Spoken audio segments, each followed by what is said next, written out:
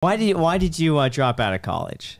I fucking college sucks. Yeah. Um, that college specific. Well, also I went to college to follow my girlfriend at the time, which was a bad idea.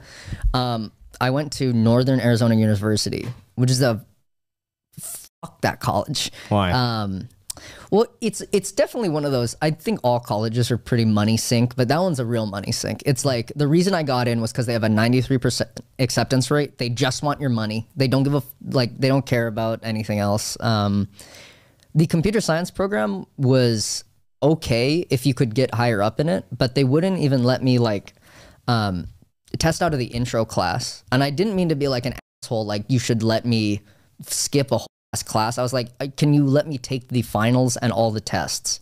Uh, because I was already working as a programmer. Yeah. So I was like, why am I working as a programmer to pay to go to school to learn how to work as a programmer? That's stupid. That doesn't make any sense. Yeah. Do they not check that like you went through like a program or anything, or is it just like Oh, I learned on YouTube? like if you're doing an engineering job Yeah. um well like they they do care a lot less now because they l- know that you can just learn it from a computer Hmm. i mean it's like computer stuff I mean, it kind of makes sense you can learn it on a computer like you wouldn't want your doctor to be a youtube taught doctor but right you want them to go to medical school but uh, like there's unless a lot seen of your surgery robot video. there's like a lot of Yeah. people at like SpaceX and Tesla, especially like those are some of the n- like more progressive companies. Like Yeah. f- the FAANG companies don't give a shit if you've been to college for programming. Yeah. They just want to know what you can do and like see your portfolio.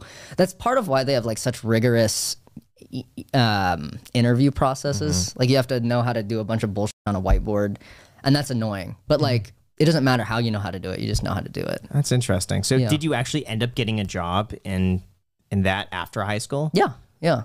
I worked for the the government of Hawaii for a bit, little bits at the college um, on my island. Got it.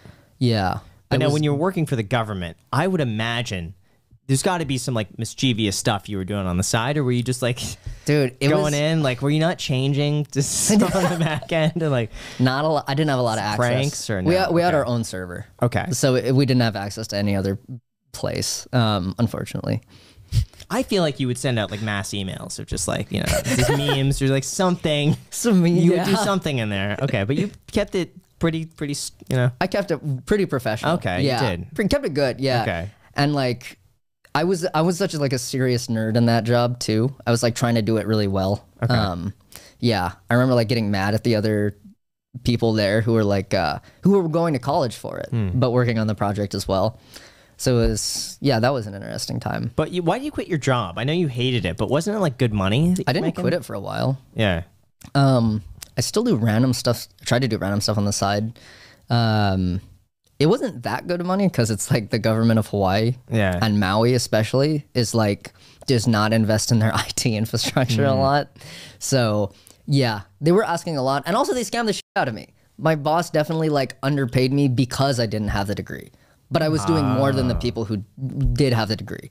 That's crazy. Yeah, How did you find annoying. out about that? Um, someone told me. Yeah. Yeah. And I was like, that's not right. Also, at some point, I worked like, that was my first 100 hour work week was on that project. And she, and they did not pay like, they couldn't pay over a certain amount of overtime. So it would just bleed into the next month or next week and not count as overtime. It's like, Can you say how much you were making at that job? I actually don't remember.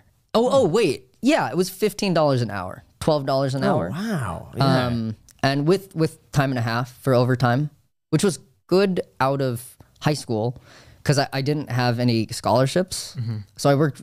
I, I had to work like I had to max out overtime to pay for college that summer, and going into college too because I didn't have scholarships because my grades were bad. Yeah. Yeah. So, yeah, And then you went to college, and then you dropped out of college. yeah, yeah, And when you dropped out, were you continuing to do this work remotely? yeah. I was still doing remote And after then doing dropping out. YouTube, and then all of this, you know, after some Yeah. time, YouTube income started taking over that job. Jeez, Jack, we could just ask you. I'm just, I'm just curious because I think I know that. I think I know that. You know the the pipeline. audience doesn't Yeah. know it, Jack. You know the high school to YouTube pipeline. Yeah. You know that. Yeah.